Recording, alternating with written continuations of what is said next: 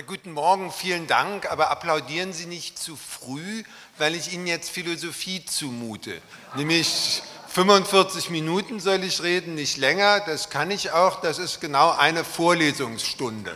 Also bekommen Sie jetzt am Sonntagmorgen keine Predigt, aber sowas ähnliches, nämlich eine Philosophiestunde. Und die fängt damit an, dass ich das aufnehmen möchte, was gestern über Demokratie gesagt wurde und was ja auch von, den, äh, von der herrschenden Politikerschicht immer gesagt wird, dass wir in einer Demokratie leben würden, die wir bewahren und retten müssen. Und genau diese Leute, die das sagen, verletzen die Demokratie. Und ich würde sogar etwas zugespitzt sagen, wir leben nicht in einer Demokratie.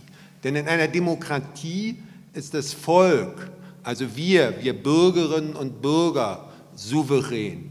Und wenn man, wenn die Regierung uns einfach über Nacht unsere Grundrechte nehmen kann, indem sie behauptet, es sei irgendwas Gefährliches da und diese Regierung müsse uns jetzt schützen und allerhand Schutzmaßnahmen ergreifen, die darauf hinauslaufen, dass wir unsere grundlegenden Rechte nicht mehr haben, also nicht mehr entscheiden können, mit wem wir uns treffen, mit wem wir wirtschaftliche Verträge eingehen, nicht mehr auf die Straße rausgehen können, auch nicht mehr unsere Meinung so frei sagen können, dann haben wir keine Demokratie.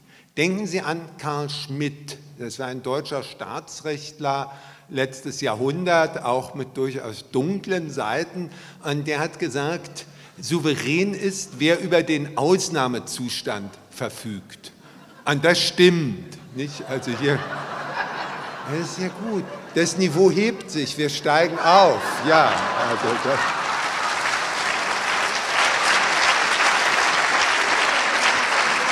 Also, Souverän ist, wer über den Ausnahmezustand verfügt. Wenn die Regierung einfach und ganz legal, also positiv rechtlich ganz legal, einen Ausnahmezustand deklarieren kann, dann leben wir in einem Obrigkeitsstaat, weil unsere Rechte dann nur gelten, wenn die Regierung nicht gerade einen Ausnahmezustand deklariert. Das heißt, das, was wir denken, seien Grundrechte, gilt nur unter dem Vorbehalt, dass die Regierung es uns gewährt. Das heißt, das sind eigentlich Privilegien, die die Obrigkeit gewährt für entsprechendes Wohlverhalten, dass ihr euch so verhält, dass wir eben nicht gerade, dass ihr eben nicht gerade Viren verbreitet, dass das Klima schädigt oder irgendetwas tut oder was sagt, versuche jetzt hier nah an diesem Mikrofon zu bleiben, was der Regierung nicht gefällt. Demokratie heißt, dass wir alle Grundrechte haben. Und die, sind, die stehen ja auch im Grundgesetz drin in den ersten 20 Artikeln. Und Grundrechte sind nicht Schönwetterrechte. Also die gelten nicht am Sonntag, nur am Sonntag, wenn schönes Wetter ist. Und das sind auch keine Anspruchsrechte, sondern das sind reine Abwehrrechte. Abwehrrechte dagegen, dass jemand übergriffig wird und in meine Lebensführung eingreift. Also mir vorschreiben will, mit wem ich mich treffen darf, ob ich in ein Restaurant gehen darf, was ich sagen darf, wie ich heizen darf, wie ich mich fortbewegen darf, wie ich also Sprache verwenden muss, verwenden muss und wie bitte verwenden muss oder ja, also da, dagegen habe ich Abwehrrechte. Und wenn die gelten, dann gelten sie absolut. Das heißt kategorisch unter keiner Bedingung. Und wenn sie unter einer Bedingung stehen, also unter, unter der Bedingung, dass die Regierung nicht gerade einen Ausnahmezustand erklärt, dann gelten sie eben nicht absolut, dann sind es eben keine Grundrechte mehr. Das heißt, das, was mir im März unter dem Schock vom März 2020 stehe ich immer noch klar wurde, ist, dass eigentlich die, die, die Grundrechte, die wir haben, nur auf dem Papier stehen und dass dieses Papier nicht viel wert ist, wenn es einfach ausgesetzt werden kann. Also müssen wir da angehen, dass so etwas nicht geschehen darf. Wir haben eine Demokratie dann und nur dann, wenn alle Bürgerinnen und Bürger die gleichen Grundrechte haben und die ihnen niemand nehmen kann. Und der Staat ist dazu da, diese Grundrechte zu schützen, also Rechte auf, auf Leib, Leben, Eigentum zu schützen und nicht diese Rechte zu bestimmen in dem Sinne, dass vorgeschrieben wird, wann sie die Rechte haben und wann sie die nicht haben. Das ist der übergriffige Staat, den wir haben und der totalitäre Tendenzen angenommen hat. Also jetzt kommt ein bisschen mehr Philosophie noch, nämlich wo das herkommt. Das kommt aus etwas her, was Gunther Frank auch gestern mit dem Stichwort Aufklärung schon angesprochen hat, nämlich aus der europäischen Tradition, die man jetzt bis zu den Griechen zurückverfolgen kann, dann das Christentum und was man so auf das Stichwort oder auf den Punkt bringen kann, Primat der Freiheit. Weil wir alle freie Wesen sind und das sind wir deshalb, weil wir vernunftbegabt sind. Und wenn wir vernunftbegabt sind, können wir selbst über unser Leben bestimmen, das ist Freiheit. Logos, Vernunft, Logos im Griechischen nicht, geht zusammen mit Freiheit, Selbstbestimmung und damit auch mit Rechenschaftspflicht oder Haftungspflicht, Verantwortung für sein Handeln, Logon Didonai im Griechischen. Und die Freiheit, die haben sie immer.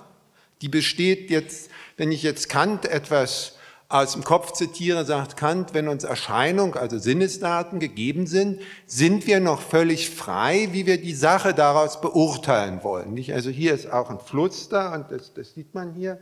Die, die da jetzt stellen sich vor, da ist das, das Ufer und da ist ein Stab reingesteckt und der sieht jetzt im Wasser so aus, als wenn er gebrochen wäre an der Wasseroberfläche. Sie, dieses Sinneseindruck des gebrochenen Stabes bestimmt nicht ihr Denken. Sie können sagen, halt, Sie können sich dazu positionieren, das stimmt doch nicht.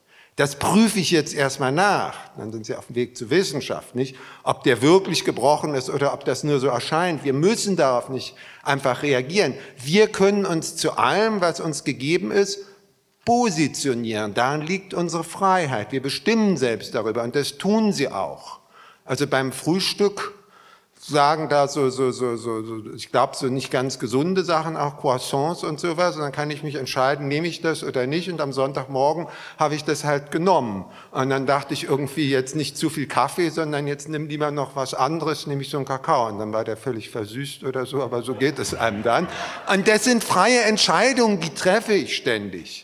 Und das können nur wir Menschen dank der Vernunft. Vielleicht können es auch höher entwickelte Tiere, das ist jetzt oder noch andere. Also es geht jetzt nicht um die Extension, wer alles darunter fällt, sondern um die Intention, was Vernunft bedeutet.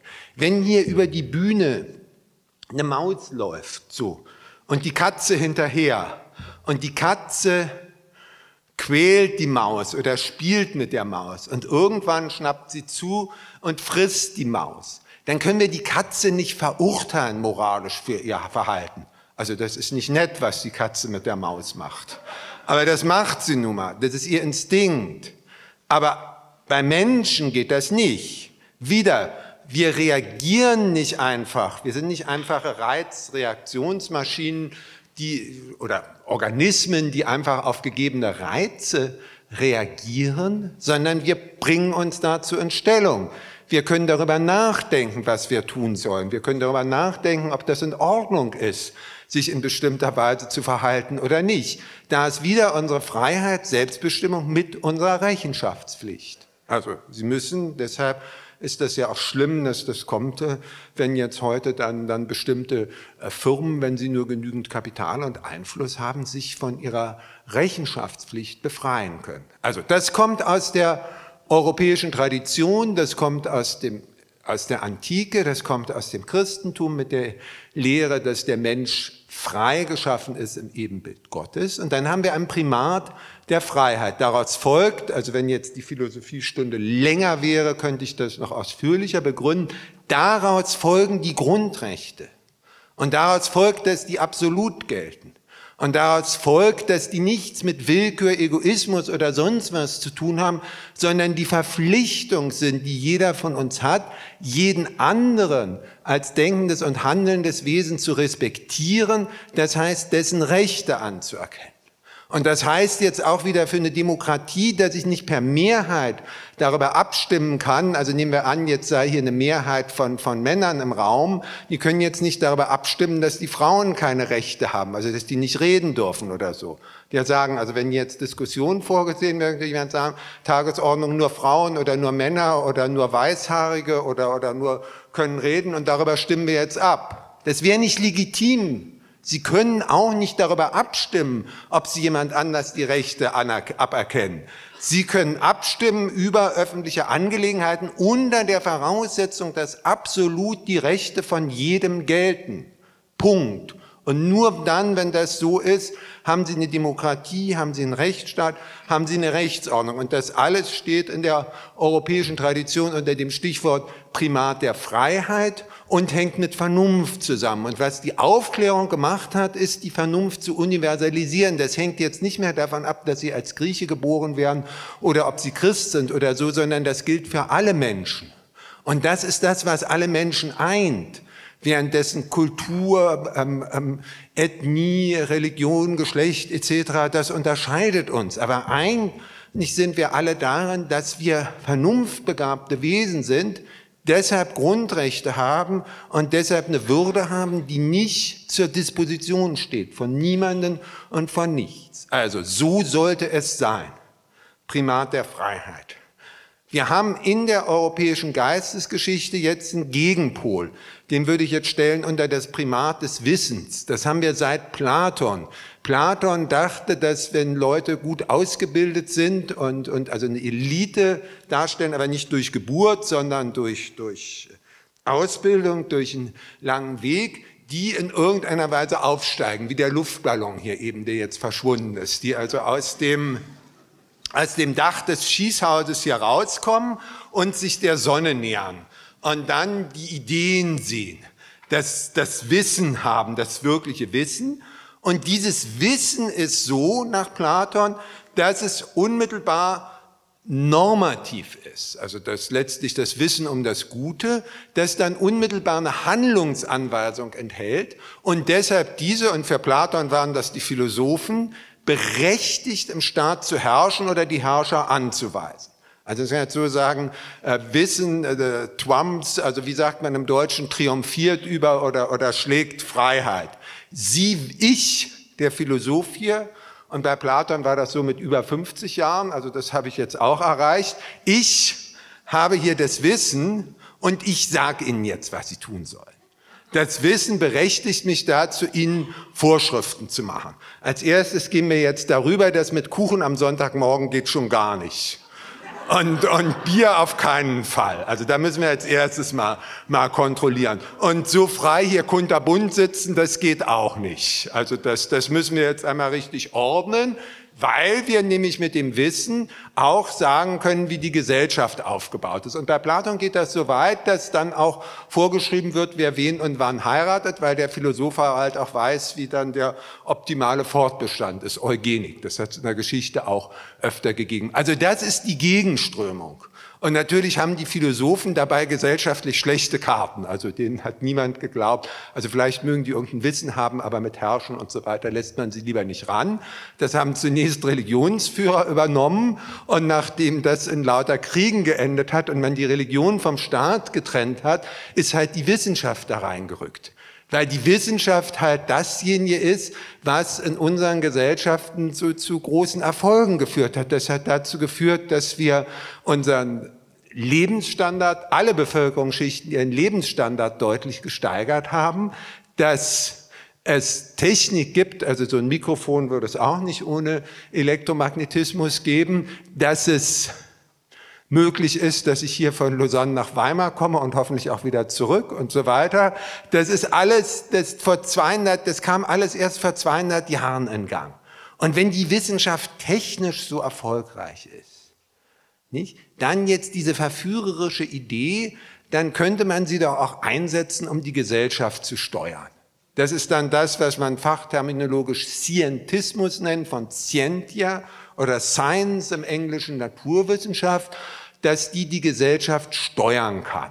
Nicht? Mangels Besseren muss jetzt die Wissenschaft dafür herhalten. Die Religion kann es nicht mehr und weil, weil das hat nur in Religionskriegen geendet und, und zu vielen Toten geführt. Die, die, die, den Philosophen traut man es nicht zu. Also ist die Verführung, das, das nächstbeste zu nehmen, die neuzeitliche Naturwissenschaft. Und die kann es natürlich erst recht nicht weil das hat Uli Masud da schon am Anfang gesagt. Ich sage immer dasselbe, also entschuldige mich auch gleich bei denen, die, die irgendwas schon gehört oder gelesen haben, es ist immer dasselbe. Die kann nämlich nur Fakten erkennen. Und die Fakten erkennt sie, indem sie objektiv ist. Und objektiv zu sein heißt, dass sie sich von allen subjektiven Perspektiven so weit wie möglich lösen muss. Also dass, dass die eigenen Präferenzen, Wertungen, Normen, Ziele da nicht reinkommen. Und das geht natürlich nie ganz. Also die Objektivität der Wissenschaft ist eine regulative Idee. Daran orientiert man sich, aber die kann man nie ganz erreichen. Natürlich ist jeder von seinem kulturellen, sozialen Hintergrund, von seinen, von den beschränkten Wahrnehmungen und Daten, die ihm als Wissenschaftler zur Verfügung stehen, etc. beeinflusst.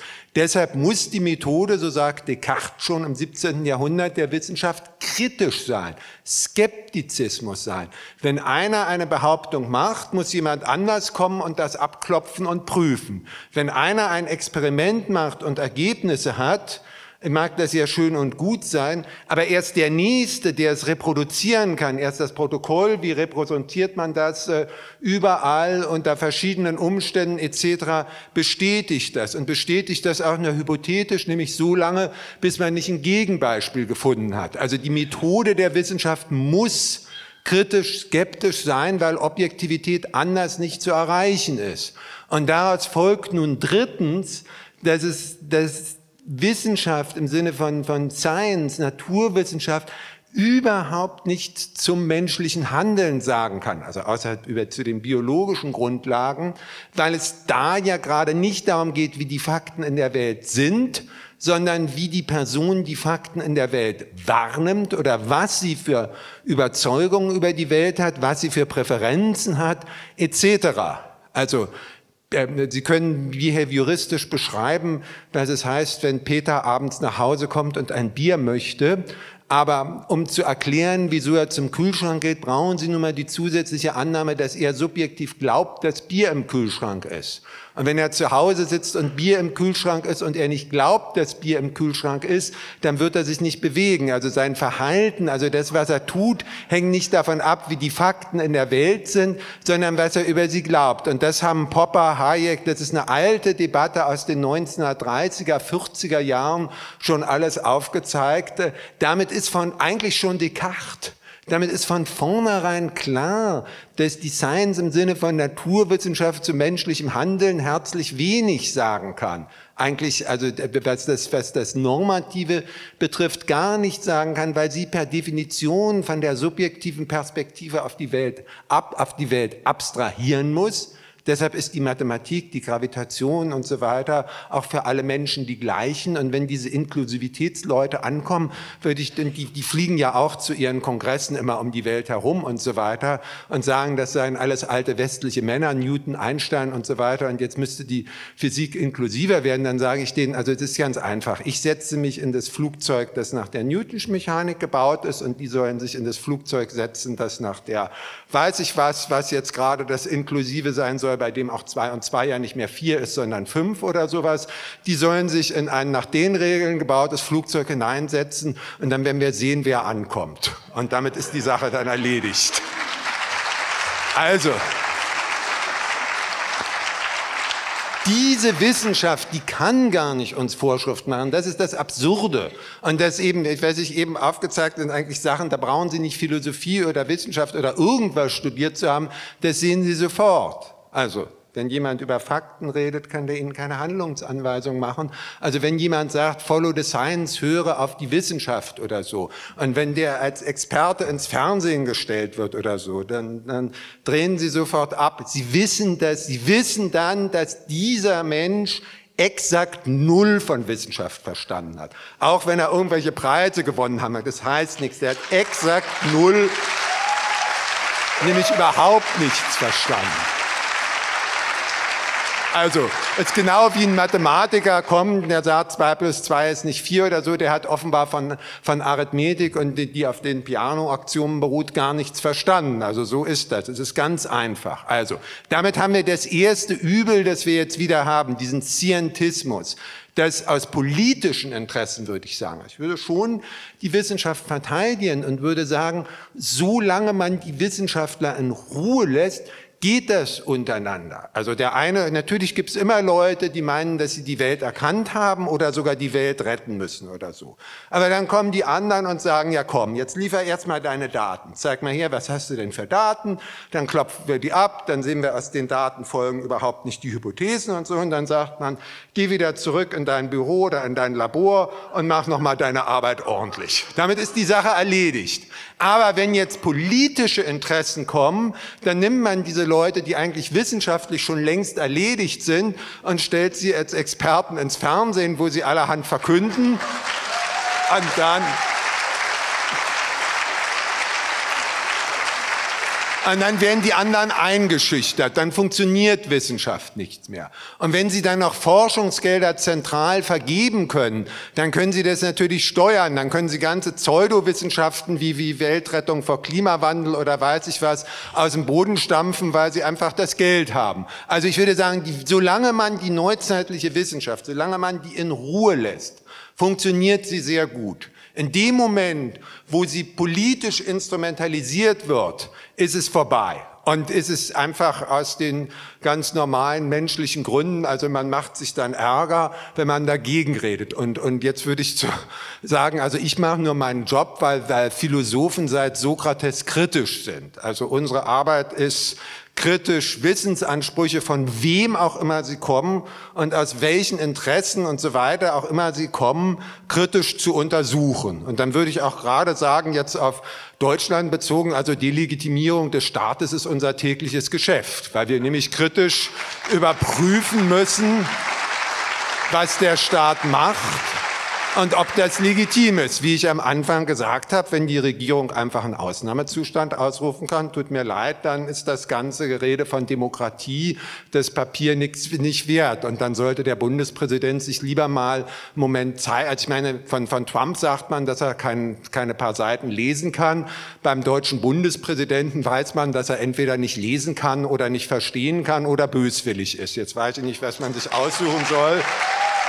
Also der müsste eigentlich für das Grundgesetz stehen, samt dem von ihm eingesetzten Richter. Okay, also das ist der Einfluss von außen. Von wem? Wir haben zunächst mal den Einfluss von, was ich jetzt nennen würde, postmodernen Postmarxisten. Das sind Leute, die meinen, dass die universelle Vernunft der Aufklärung ja eigentlich nur die alten weißen Männer sind. Nicht Descartes, Kant, ähm, Newton, Einstein, lauter alte weiße Männer. Das war damals leider so, dass das irgendwie große Teile. Das wäre viel besser noch gelaufen, wenn alle sich wie heute an der Wissenschaft hätten beteiligen können. Aber das war halt nicht so.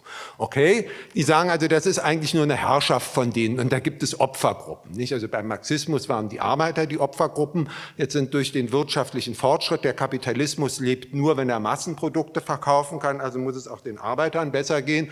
Hat sich das erledigt, sucht man Opfergruppen. Das ist jetzt meine Erklärung dafür, wieso gerade die Themen Corona und Klima rausgegriffen werden.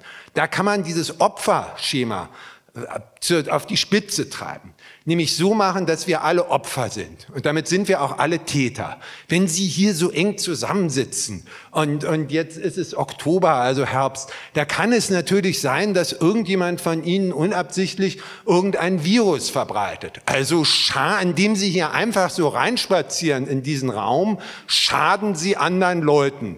Und wenn Sie noch dazu mit dem Auto hergefahren kommen und am Morgen noch ein Croissant gegessen haben und so weiter, dann schaden Sie dem Klima, nämlich der zukünftigen Generation, die dann weg ist. Und wenn Sie jetzt auch noch so frei herausreden wie ich, dann verletzen Sie sicherlich die Gefühle von irgendwelchen in der Geschichte tatsächlich Nachfahren, die man, die man also entsprechend hier noch hochfahren kann und auffahren kann, Nachfahren von, von, von äh, in der Geschichte tatsächlich unterdrückten Minderheiten. Also sind sie alle Täter. Also das ist dieses, dieses marxistische Schema jetzt postmarxistisch weitergetrieben. Und das postmarxistische und postmoderne daran ist, dass die Themen sind. Wir haben nicht mehr das eine große Narrativ im Marxismus von den, von den Klassen, die, die und, und von den ausbeutenden Klassen und dass es da immer noch irgendwelche Ausbeuter gab.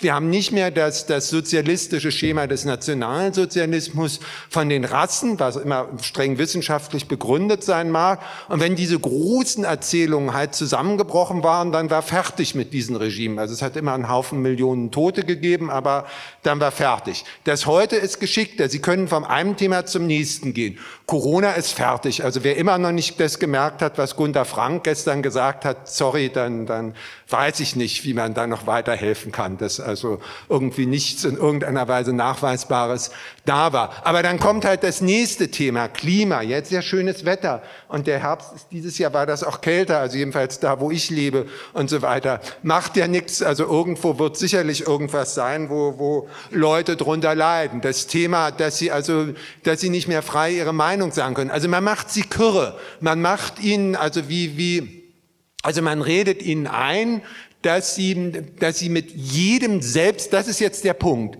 mit jedem selbstbestimmten freien Handeln, das Getränk, das sie beim Frühstück wählen, ob sie jetzt hier, ob sie Sonntag in die Kirche gehen und die Kirche dann voll ist oder ob sie hier ins Schießhaus gehen und sich Philosophie zumuten, mit jedem freien Handeln schaden sie potenziell anderen.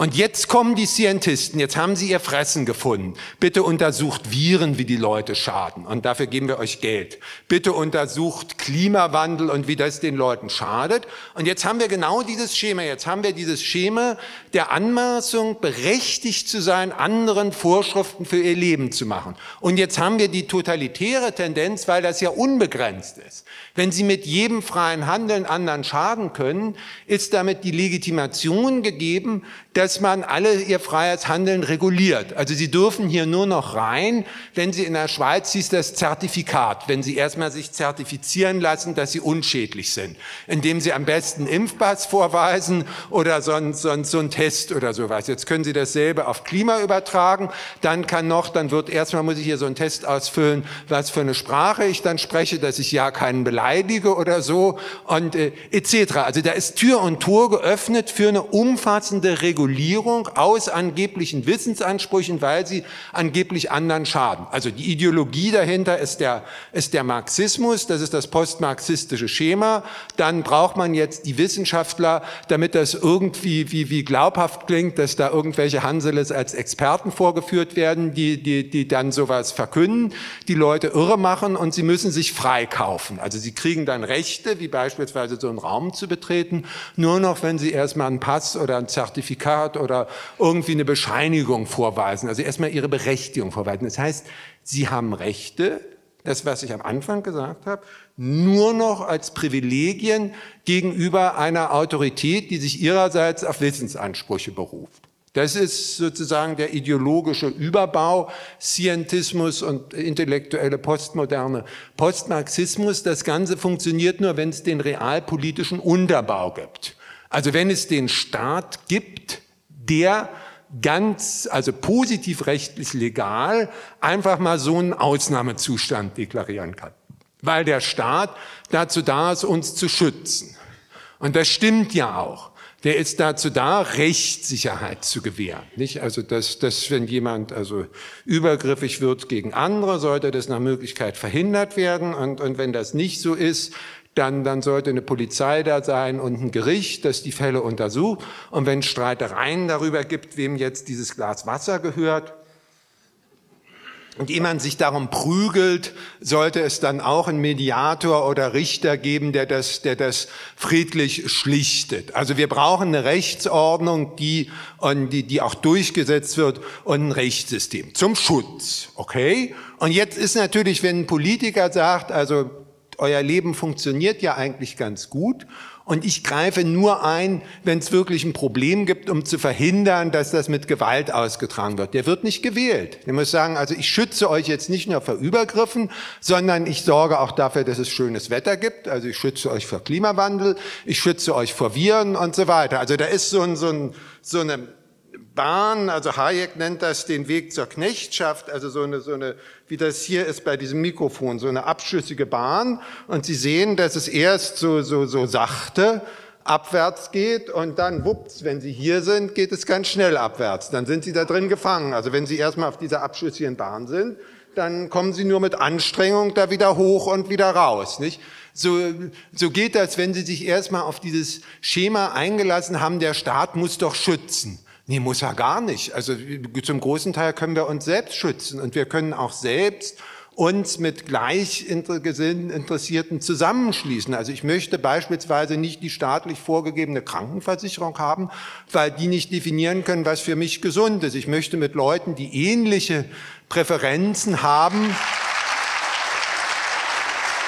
freiwillig eine Krankenversicherung abschließen können und ich möchte, und genauso möchte ich das für alles andere, und ich möchte, dass in irgendeiner Weise was eingebaut ist, also wer jetzt mehr kann, zahlt halt einen höheren, dass es einen Richtbeitrag gibt nicht, und wer mehr kann, zahlt einen höheren Beitrag, damit niemand, der jetzt dieselbe Krankenversicherung haben muss, damit ausgeschlossen wird. Und genau dasselbe würde ich jetzt auf Bildung, auf Medien, auf alles beziehen. Ich möchte nicht die staatlichen Vorgaben haben, weil dieser Schutz, eben die abschüssige Route ist. Und hier unten bin ich dann im Totalitarismus, weil man mich dann vor allem schützen muss und die Vorgaben entsprechend macht und herbeischafft, werde ich dann, dann ist es zu spät dann sind sie abgefallen. Und das Ganze hat natürlich mit Realität nichts zu tun. Das hat, deshalb habe ich jetzt gar nicht so viel darüber gesagt, weil Gunter Frank das gestern schon gesagt hat.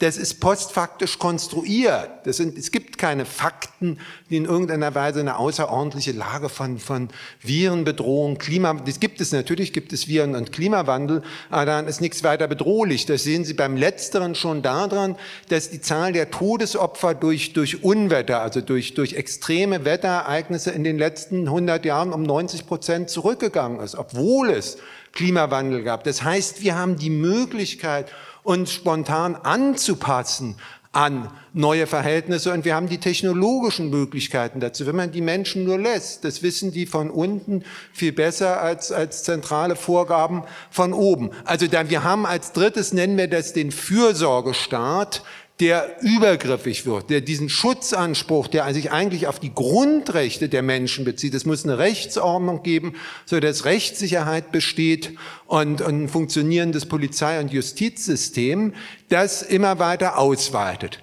Und dann braucht er jetzt natürlich die Wissenschaftler, die sagen, also die, die, die Postmarxisten geben die Ideologie, die Wissenschaftler liefern dann die Legitimation mit Pseudomodellen etc. Und natürlich braucht er die, die, die, die Wirtschaft, die das tut, beziehungsweise, jetzt kommen wir zum vierten Punkt, Lenkungswirtschaft. Die, die, die, die, die wirtschaftlichen Unternehmen machen das von selbst. Also denken Sie nochmal zurück an die Corona-Zeit. Jetzt mag es ja sein, dass Masken was nützen. Also jetzt sind Sie ein Unternehmer und stellen Masken her oder Impfstoffe oder was es sei. Und jetzt müssen Sie Kunden überzeugen. Und die werden skeptisch sein. Und wenn ein paar das machen und man sieht, dass die nur Kosten haben und irgendwie keinen Nutzen haben, dann sind sie pleite. Also das, das ist ein unternehmerisches Risiko.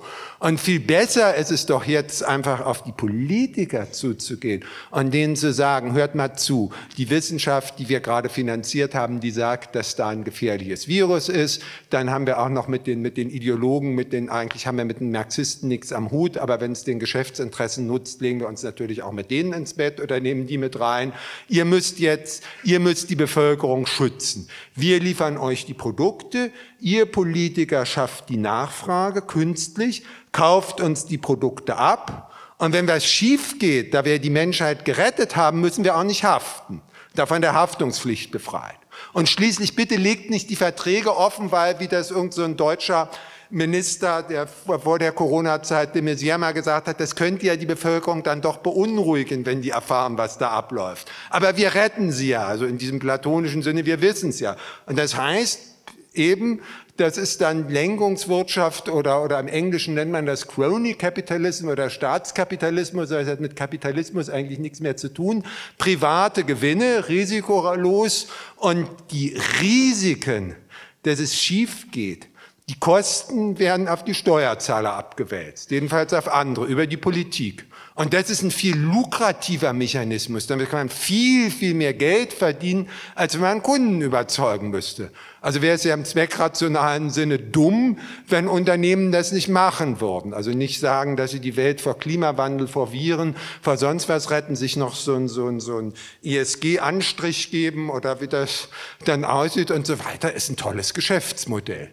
Und dann läuft der Laden. Also wir haben diese vier Punkte, das habe ich in diesem Buch Land ohne Mut sind das diese vier Punkte, die, die, die das Übel sind, Zientismus, Postmoderne, Postmarxismus, übergreifender Fürsorgestaat, Lenkungswirtschaft oder, oder Staatskapitalismus. Und das Übel sind die halt zusammen. Alle vier gibt es. Es gibt immer Unternehmen, die Politiker bestechen wollen. Es gibt immer bestechliche Politiker.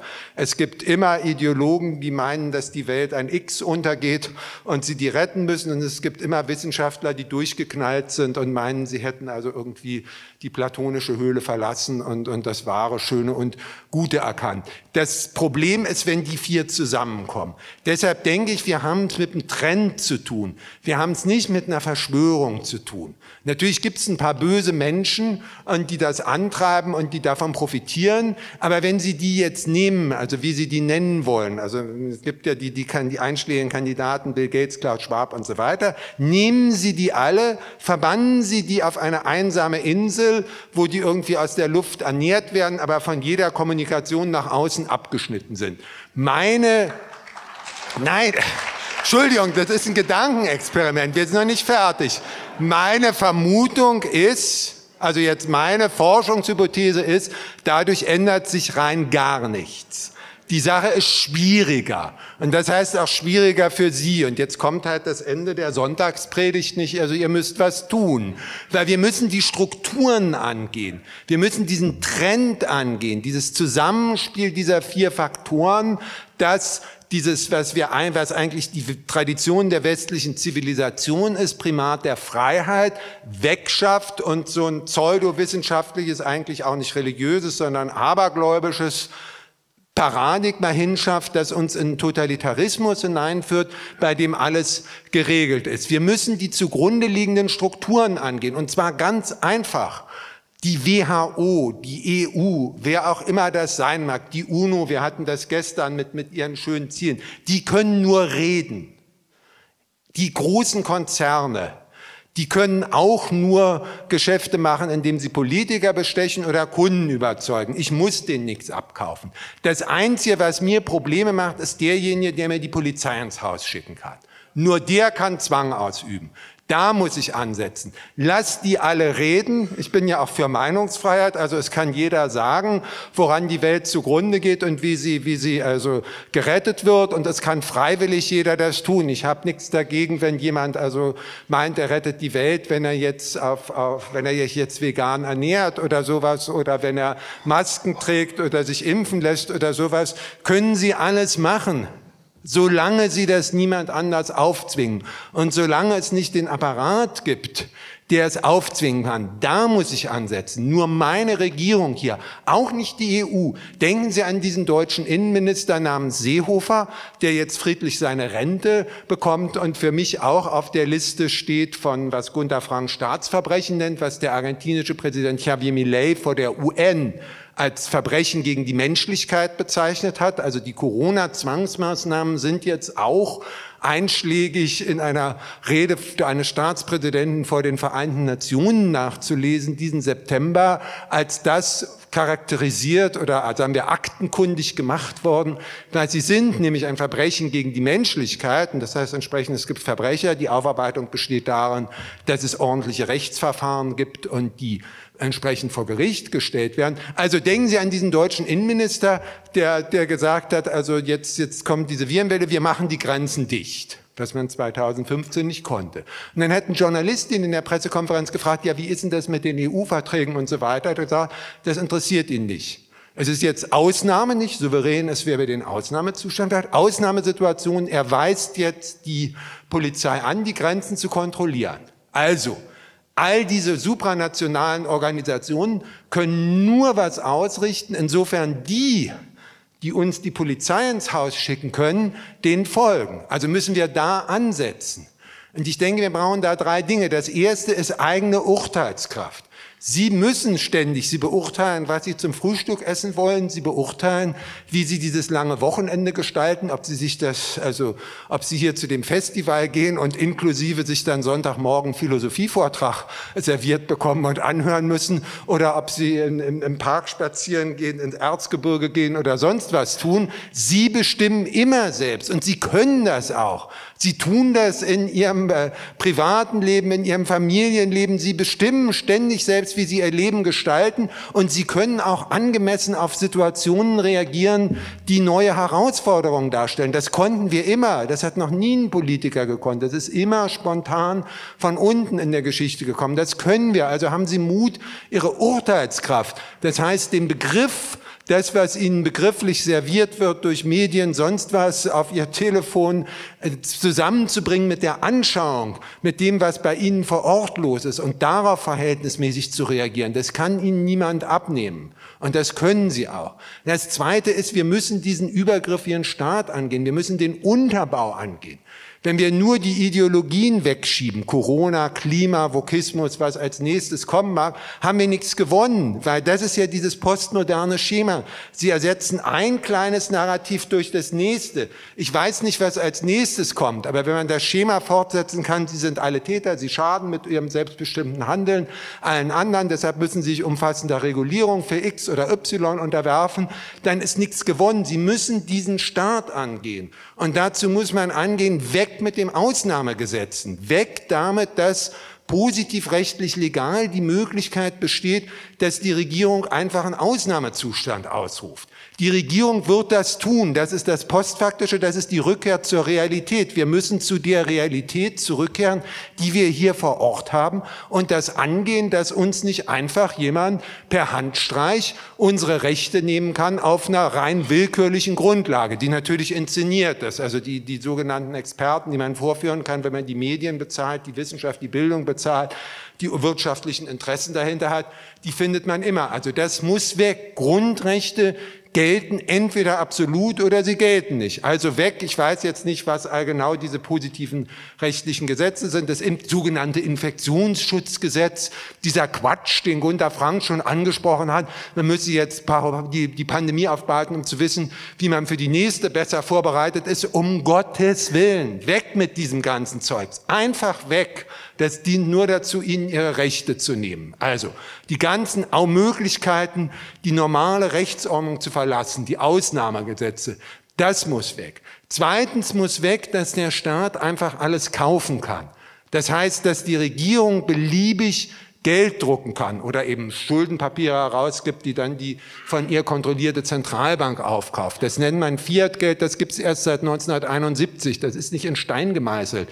Nixon hat 71 die Bindung des US-Dollar an Gold aufgehoben, um nach außen Krieg, Vietnamkrieg und nach innen Wohlfahrtsstaat Johnsons Gold Society finanzieren zu können. Und seit da an hat der US-Dollar gegen Gold 98 Prozent seines Wertes verloren. Also die Bilanz ist ziemlich verheerend.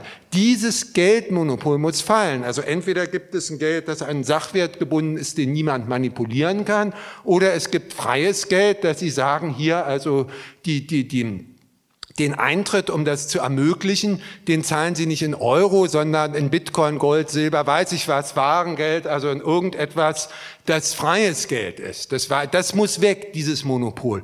Und drittens muss weg, dass der Staat nicht nur über unser Eigentum verfügen kann, nicht nur über das Geld verfügen kann, sondern auch noch Zwangsdienst anordnen kann. Also ich halte die Debatte über eine sogenannte Wehrpflicht, ein, Wiedereinführung aus angeblicher, wegen angeblicher kriegerischer Bedrohung für vollkommen verfehlt. Da geht es darum, angebliche Wehrpflicht. Wer das nicht will, muss, was so schön klingt, nennen dann Zivildienst oder soziales Jahr machen. Das ist einfach Zwangsarbeit. Das heißt, der Staat kann für den Fall, dass es wirtschaftlich mal, dass dieses Geld dann mal wirklich in eine Hyperinflation wird oder irgendwas zusammenbricht, auch einfach über unsere Körper, über unsere Arbeitskraft verfügen und Zwangsarbeit anordnen. Das darf nicht sein. Also diese drei Punkte. Jetzt würde ich als vierten, da auch Herr Detmer hier ist, noch anfügen müssen, es muss eine Rechtsordnung, ein Justizsystem geben, das unabhängig vom Staat ist. Ich hätte da, mein Vorbild ist, das, mein Vorbild ist das die Tradition des Common Law, das von unten kommt und wo auch ein Richter von unten sagen kann, nee, nee, der englische König, der darf sowas nicht. Das fällt nicht in seinen Bereich. Statt des von zentral von oben vorgegebene Gesetz. Also das ist Arbeit jetzt. Das ist nicht einfach. Mindestens vier Punkte. Ausnahmegesetze weg.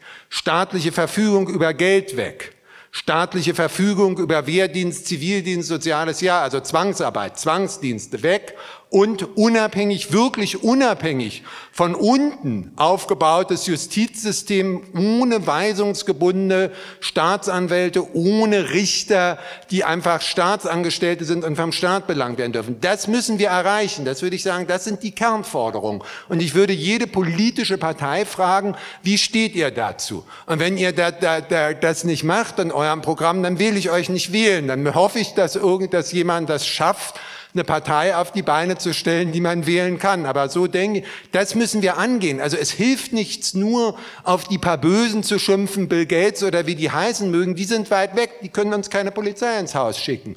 Es hilft auch nichts, nur die, die Ideologien wegzuschaffen. Das ist der Überbau. Da kommen neue. Das ist für die überhaupt kein Problem, das nächste aus dem Hut zu zaubern. Wir müssen den Unterbau, die reale Machtstruktur, die uns zu etwas zwingen kann, die müssen wir zurückfahren. Und dazu brauchen wir das, was Kant nennt, den Mut zum freien öffentlichen Gebrauch der Vernunft. Öffentlicher Gebrauch der Vernunft ist der Gebrauch, den Sie von Ihrer Vernunft als Bürgerin oder Bürger machen, der immer frei ist, sagt Kant. Und indem Sie auch den Staat kritisieren, kritisieren können. Sie können als guter deutscher Staatsbürger sagen, dass das Bundesverfassungsgericht Rechtsbeugung betreibt. Damit delegitimieren Sie niemanden, sondern zeigen einen Missstand auf. Das müssen Sie sogar tun, weil nur so, wenn wir das hartnäckig tun, wenn wir hartnäckig klar, sachlich auf die Missstände hinweisen und ganz klar bei den Punkten bleiben. Demokratie heißt, dass man uns nicht einfach unsere Rechte per Fädenstrich nehmen kann und da irgendwelchen Schutz vorwenden. Es muss so sein, der Staat ist dazu da, dass er unsere Rechte schützt, aber er darf uns nicht Vorschriften für unser Leben machen. Dazu muss das Justizsystem unabhängig aufgebaut sein, die weiteren Punkte, die ich genannt habe. Darauf muss man beharren und das muss man weiterbringen in, im Bekanntenkreis. Das muss man in die Öffentlichkeit bringen. Und da sind wir, sind Sie alle gefordert. Anders geht es nicht. Es ist nicht getan mit ein paar Bösen. Es ist nicht getan mit Ideologien wegschaffen. Wir müssen das, was Walter von Rossum gestern gesagt hat, wir müssen die Demokratie wir müssen unsere Gesellschaft von unten neu aufbauen, basierend auf freiwilligen Interaktionen und basierend darauf, die grundlegenden Rechte von jedem zu respektieren.